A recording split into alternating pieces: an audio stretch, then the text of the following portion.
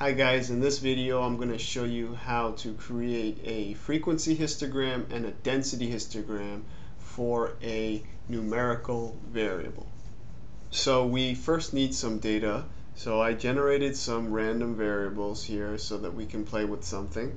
So I have this variable called x1 and the way I created this was by generating a bunch of normally distributed random variables with a mean of 20 and a standard deviation of 3. And the way to do that is using this function. So I don't want to go off on this, but just, just disclosure.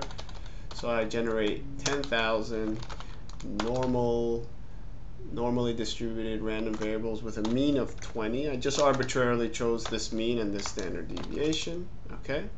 And if I hit enter, I create x1, and now I can uh, I can calculate the mean of x1. I can get the uh, standard deviation. I can do a bunch of descriptive statistics, but I want to focus on the histogram here. So hist x1. If I do this, I'll get the very basic frequency histogram, okay, of x1.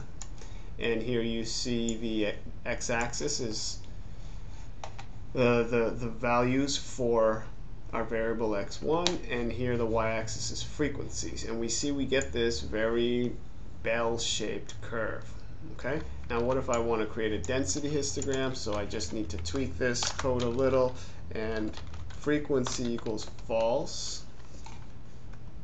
We'll do this okay? So here you see when frequency is set to false this becomes density and you see these are actually densities.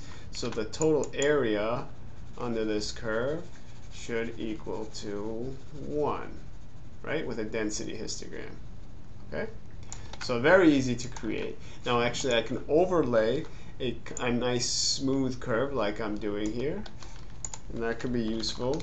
So lines density x1 and there's a lot of ways to tweak this as well but uh, let me just play with the color a little let's get a uh, sorry, let's do like a blue line here and let's make it a little thicker. That's what this does.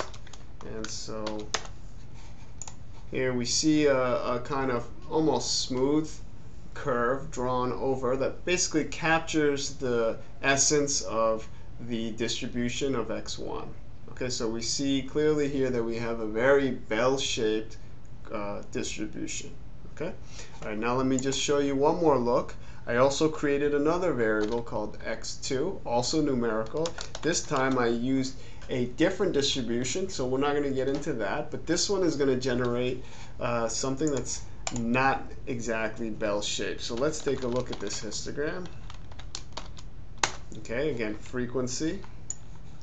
So this is a histogram of x2, and you can see this is a much more skewed, well, this is a very skewed distribution as opposed to the distribution of x1, which was very symmetric. Okay, so it's right skewed or positively skewed. And we can make a density histogram by again setting frequency to false. And we see that we get density on the y-axis. Okay, my x-axis again is the range of values for x2. Now I can overlay uh, smooth curve over this histogram. Let's make another color. How about, uh, I don't know, orange?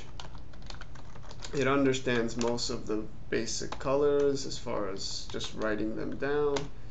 And I can even show you how to make a uh, dotted line here.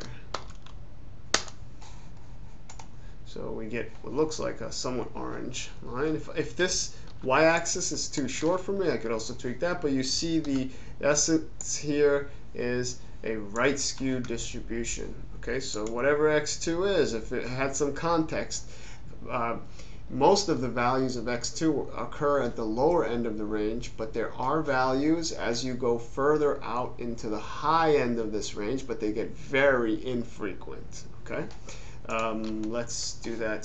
Uh, let's actually let me show you how to extend that y-axis a little so that we can see a little bit more. So zero. So I could define my limits. So I'm at 0.15 maybe if I go to 0.2 make sure we close that parentheses. And so you see here I can define how uh, the y-axis as well. So now my curve doesn't get chopped off like it was before. Okay, so just a little bit of tweaking. There's a lot more you could do with this stuff, but again, I want to focus on the essential points, the important points for an applied statistics course. Okay, so I hope this was helpful. Uh, make sure to watch the other videos I'm going to do. I'm going to talk more about descriptive statistics for both numerical and categorical variables. Uh, this one just focused on histograms. So I hope this was helpful. Be sure to subscribe. Have a great day.